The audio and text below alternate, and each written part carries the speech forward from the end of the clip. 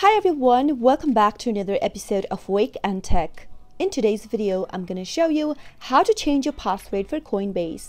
If you'd like to keep changing your password for security purposes for your Coinbase account so that no unauthorized person will be able to get access to your Coinbase, then keep watching the video till the end.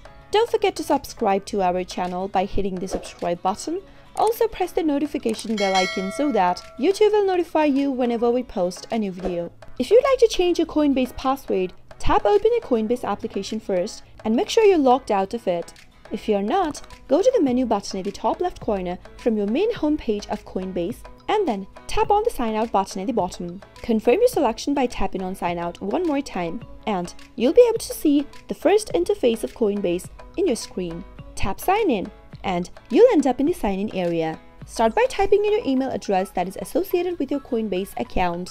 And now when it asks for your password, do not type in the password but instead tap on the forgot password link right beneath the sign in button. Now re-enter your email address one more time in the email address text box. After you're done, tap on reset password. You'll be receiving an email from Coinbase in the particular email address that you just entered. Simply tap open your email that you received and you'll be able to see this kind of a reset password link. Tap it on and type in the new password that you'd like to update to. Confirm the password by typing it again in the next field.